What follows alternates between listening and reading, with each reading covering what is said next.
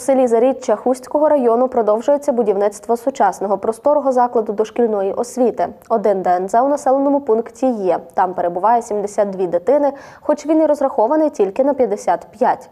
У новому садочку буде 150 додаткових місць, дві ясельні групи та шість для вихованців старшого віку. Зауважили вода.